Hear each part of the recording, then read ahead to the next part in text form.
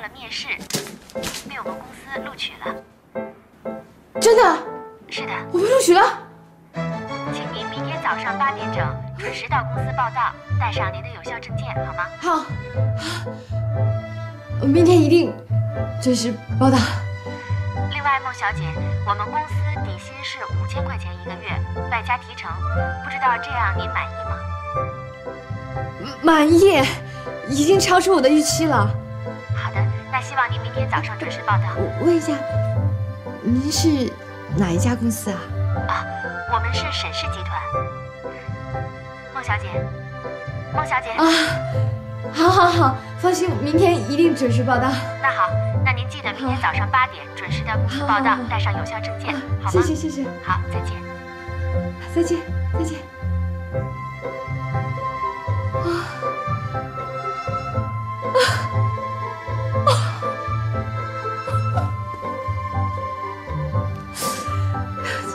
录取了就是不一样啊，对我太多的客气了。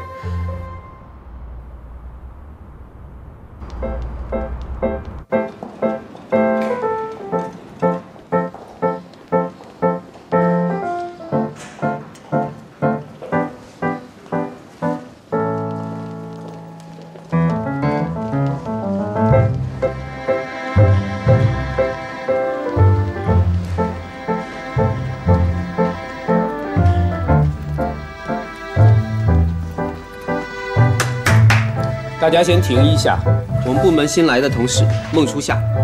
呃，大家好，以后工作当中有什么不足的地方，还请多多指教。听人力那边说，空降兵，总裁钦定。以后呢，你就坐这个位子。今天第一天上班，先了解一下咱们公司的各种部门的职责。有事呢就问艾米他们。好，好，欢迎欢迎。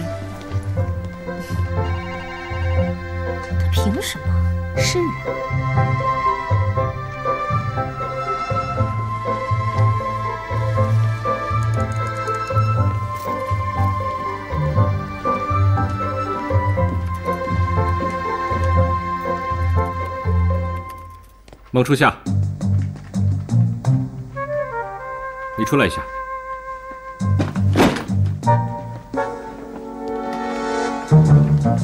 哎，单独叫总这女的跟总裁什么关系啊？总裁，你有什么特别的吩咐吗？哦，对了，我得谢谢你这次给我治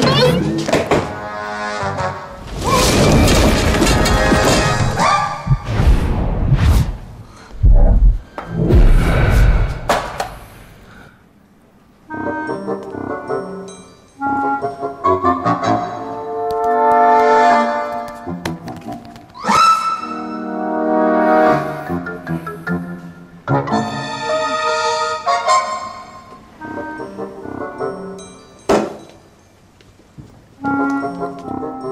对对对对对对不起。总裁，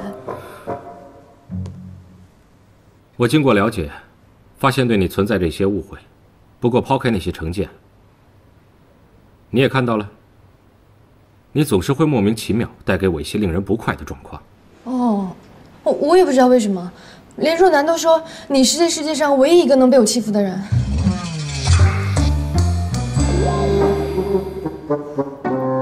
孟惊夏。让你进沈氏，完全是看在何小姐的面子上。嗯。但是鉴于以后在同一幢大楼工作，为了避免旁人误会以及再次被惊吓，我希望你能跟我保持三米以上的距离。要是做不到，你的工作问题我会再考虑的。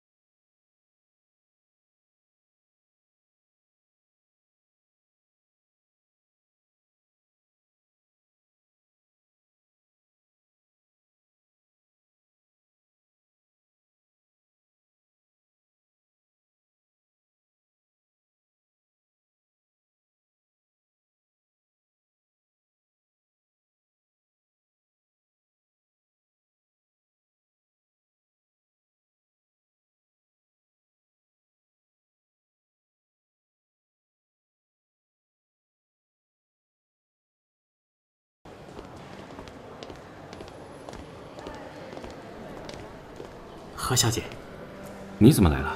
家父的朋友送了两张舞剧的票，你今天晚上没有工作吧？你是怎么知道我晚上的行程是空的？这是董事长安排的吧？你要是不愿意的话，那就算了。我跟你去。稍等一下。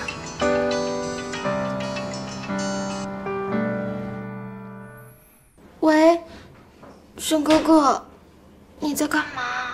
呃，正要跟何小姐去看舞剧。怎么了？哦，那我不打搅你们了。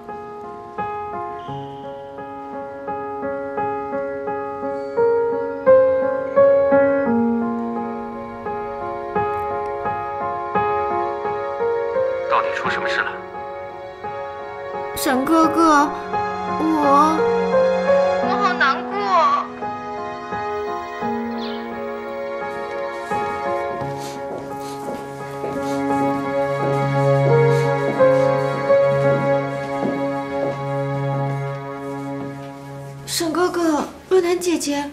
怎么来了？夏颖，到底发生什么事儿了？这电话里你也不说，我们只好过来看你。你们怎么还专门跑过来了？我再不说，我可要生气了。我说出来不好意思嘛。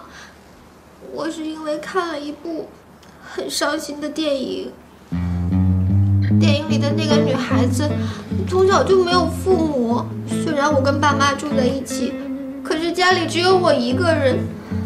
我想起来就觉得很伤心。你们不是在看舞剧吗？你快去啊，我没事的。好吧，那你自己一会儿洗洗脸，吃点东西。嗯这样吧，舞剧什么时候都可以看，不一定非得今天看。沈安，咱们留下来打电话叫外卖，然后陪佳颖妹妹一起看一部喜剧电影，好不好？我无所谓。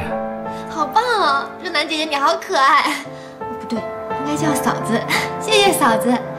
沈哥哥，嫂子人这么好，你是不是喜欢她呀？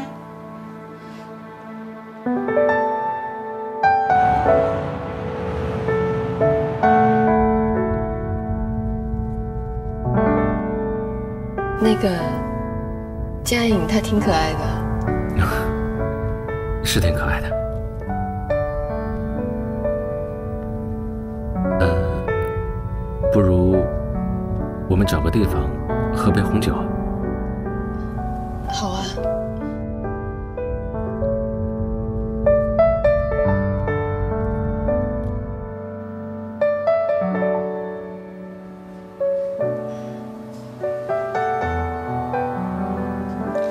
这儿这么好，客人怎么这么少啊？这里是会员制的，我又闹笑话了。我在你面前，好像总是表现的没有那么好。你表现的已经很好了。但是有些话，我必须要说在前面。我是沈氏最年轻的总裁。作为一个企业的领导者来说，一个稳定的家庭无疑会令其给人的感觉更为可信可靠。所以我跟许多女士见面，目的是选择一位沈氏集团的女主人。对未来的太太，我可以保证生活无忧，以礼相待，每天回家，并且绝不会有其他女人。